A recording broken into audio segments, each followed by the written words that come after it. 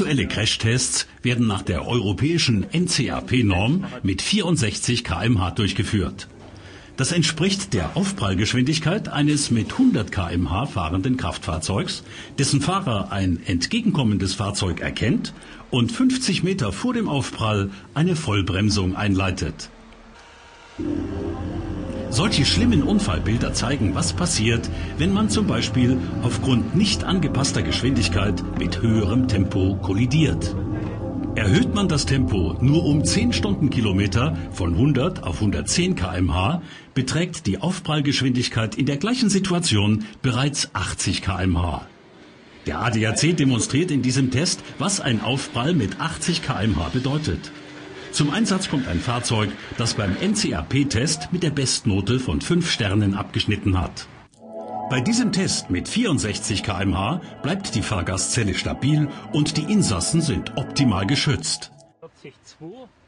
Der folgende Crashtest des ADAC entspricht exakt der NCAP-Norm, nur ist die Aufprallgeschwindigkeit auf 80 kmh erhöht. Im Fahrzeug sitzen außer zwei Erwachsenen noch zwei Kinder. Dieser Versuch mit 80 km/h soll zeigen, inwieweit das Verletzungsrisiko bei einem Unfall ansteigt, wenn man nur etwas schneller fährt auf der Landstraße zum Beispiel. Schon in der Realzeit ist das Einwirken deutlich höherer Kräfte sichtbar. Beim Studium der Zeitlupenaufnahmen wird erkennbar, dass die Fahrgastzelle an ihrer Belastungsgrenze angelangt ist. Auch die körperliche Belastung der Insassen steigt stark an, denn diese werden jetzt in einer kürzeren Zeit aus einer höheren Geschwindigkeit abgebremst. Der Airbag kann jetzt nicht mehr verhindern, dass der Fahrer auf das Lenkrad schlägt. Die Knie treffen Instrumententafel und Lenksäule. Ähnlich ergeht es dem Beifahrer, der ebenfalls das Armaturenbrett touchiert.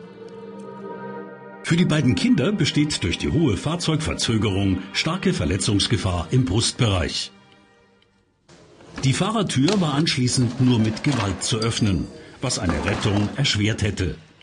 Erhebliche Knie- und Beinverletzungen wären unumgänglich. Bei der Untersuchung der Karosserie zeigte sich, dass die Fahrgastzelle kurz vor dem Kollaps stand und bereits Schweißnähte eingerissen waren. Zu sehen ist, dass die Fahrgastzelle bereits anfängt sich zu deformieren. Die A-Säule ist stark deformiert, der Schweller knickt auch schon leicht aus. Noch ist die Fahrgastzelle intakt, der Insasse ist noch geschützt. Die Belastungen für den Insassen durch die starke Verzögerung sind natürlich auch wesentlich höher als beim Crash mit 64 km/h. Auch in sehr sicheren Fahrzeugen sind die Insassen nicht unverwundbar.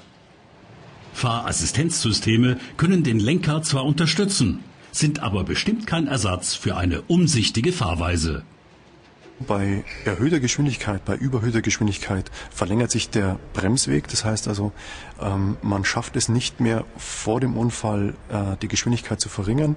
Und durch die höhere Aufprallgeschwindigkeit steigt natürlich das Verletzungsrisiko enorm. Das heißt also, Geschwindigkeitsbeschränkungen auf der Landstraße sollten auf alle Fälle eingehalten werden.